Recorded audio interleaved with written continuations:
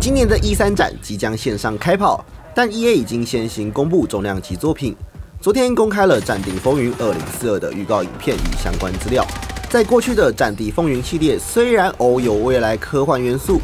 例如《战地风云2142》就是在未来冰河时期展开的科幻战争，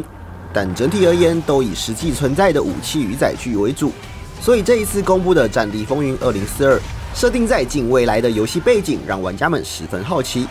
而玩家们最在意的游戏方式也跟以往不同了，这一次居然取消了单人战役模式，改为全面线上进行，而且 Xbox Series 还有 PS5 与 PC 才能够支援到一二八人同时游玩。前世代的主机像是 PS4 和 Xbox One 就只有六十四人了，详细的玩法尚未公布，但官方宣称不会是大逃杀的玩法，再过几天就会有详细的游戏画面释出了，玩家们忍一忍吧。